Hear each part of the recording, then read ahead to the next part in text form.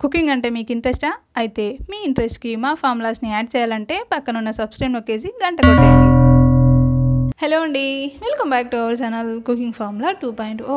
ఈరోజు మనం చూడబోయే రెసిపీ ఏంటంటే పచ్చి కొబ్బరితో చాలా సింపుల్గా మంచి టేస్ట్తో ఉండే హల్వా ఎలా చేసుకోవాలనేది ఈరోజు నేను చూపించబోతున్నాను.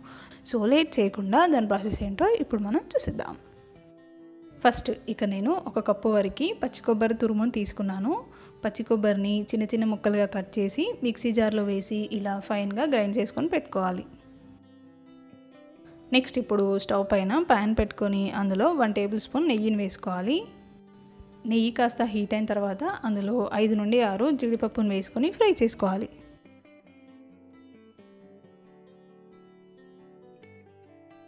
జీడిపప్పు ఇలా మంచి గోల్డెన్ బ్రౌన్ కలర్లోకి చేంజ్ అయ్యేంత వరకు ఫ్రై చేసుకొని వాటిని ఒక ప్లేట్లోకి తీసేసుకోవాలి.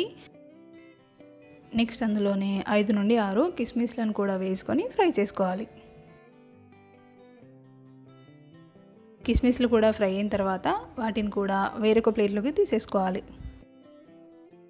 ఇప్పుడు మళ్ళీ అదే ప్యాన్లో ఇందాక మనం తురుము పెట్టుకున్న పచ్చి కొబ్బరిని యాడ్ చేసుకోవాలి. స్టవ్ని మీడియం టు లో ఫ్లేమ్కి అడ్జస్ట్ చేసుకుంటూ కొబ్బరి దాని పచ్చివాసన అంతా పోయేలా కాస్త ఫ్రై చేసుకోవాలి.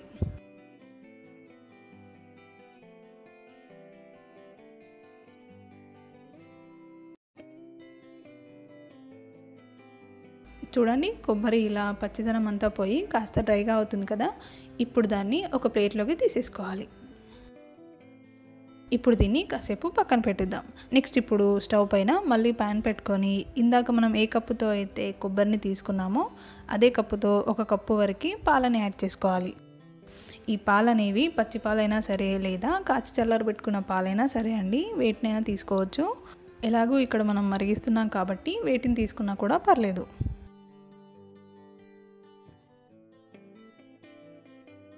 పాలు కాస్త మరిగిన తర్వాత ఇప్పుడు అందులోకి హాఫ్ కప్పు వరకు షుగర్ని యాడ్ చేసుకోవాలి.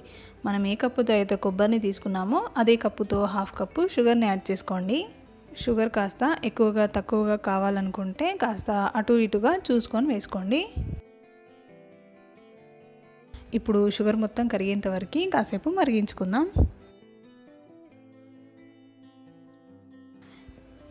ఇలా షుగర్ అంతా కరిగిపోయి పాలు మరుగుతున్న టైంలో ఇప్పుడు అందులోకి వన్ టేబుల్ స్పూన్ కస్టర్డ్ పౌడర్ని ఇలా ఒక బౌల్లోకి తీసుకొని అందులో కాస్త గోరువెచ్చగా ఉన్న పాలని యాడ్ చేసుకొని ఉండలేమీ లేకుండా మిక్స్ చేసుకొని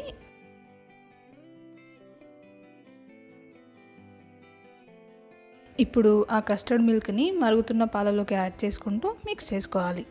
ఇక్కడ మనం కస్టర్డ్ పౌడర్కి బదులుగా కార్న్ఫ్లోర్ని కూడా యూస్ చేయొచ్చండి. అలాగే కస్టర్డ్ మిల్క్ని యాడ్ చేసిన తర్వాత స్టవ్ని లో ఫ్లేమ్లోకి టర్న్ చేసుకొని మిక్స్ చేసుకోవాలి. లేదంటే పాలు అడుగంటుకునే ఛాన్స్ ఉంటుందన్నమాట. ఇలా అంతా కలిసేలా బాగా మిక్స్ చేసుకున్న తర్వాత ఇప్పుడు అందులోకి ఒక చిట్కేడంతా ఎల్లో ఫుడ్ కలర్ని యాడ్ చేసుకోవాలి. నెక్స్ట్ అందులోకి ఇందాక మనం రోస్ట్ చేసి పెట్టుకున్న కొబ్బరిని అందులోకి యాడ్ చేసుకొని మొత్తం అంతా కలిసేలా బాగా మిక్స్ చేసుకోవాలి.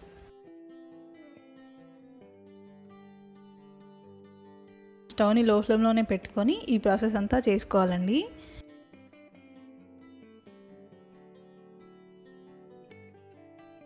కాసేపటికి కొబ్బరి ఇలా పాలల్లో ఉడికిపోయి కాస్త చిక్కబడుతుంది.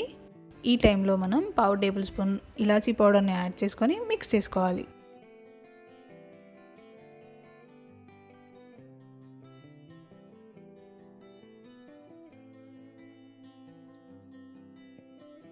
చివరిగా అందులోకి ఇందాక మనం ఫ్రై చేసి పెట్టుకున్న డ్రై ఫ్రూట్స్ని యాడ్ చేసుకొని మిక్స్ చేసుకోవాలి.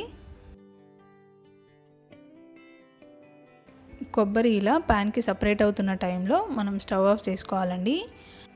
ఇలా రెడీ అయిన హల్వాని వేడివేడిగా ఒక బౌల్లోకి సర్వ్ చేసుకోవడమే.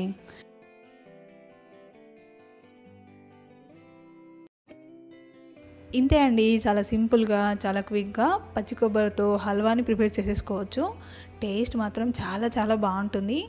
మన ఇంట్లో ఏదైనా పండగలప్పుడు కానీ వ్రతాలప్పుడు కానీ పచ్చి కొబ్బరి మిగిలిపోతూ ఉంటుంది కదా అది ఎండు కొబ్బరిగా మారకముందే ఇలా దాంతో హల్వా చేసి చూడండి. పిల్లలు చాలా చాలా ఇష్టంగా తింటారు. తప్పకుండా మీ అందరికీ నచ్చుతుంది కూడా. సో ఇంకేం లేట్ చేయకుండా మీరు ఒకసారి ఇంట్లో దీన్ని ట్రై చేసి మీకు ఎలా కుదిరింది అనేది నాకు కామెంట్ సెక్షన్లో షేర్ చేయండి. ఇప్పుడైతే థ్యాంక్స్ ఫర్ వాచింగ్ అండి. ఈ వీడియో కనుక మీకు నచ్చినట్లయితే లైక్ చేయండి షేర్ చేయండి. ఇలాంటి మరెన్నో మంచి మంచి రెసిపీస్ కోసం subscribe to our channel cooking formula two point O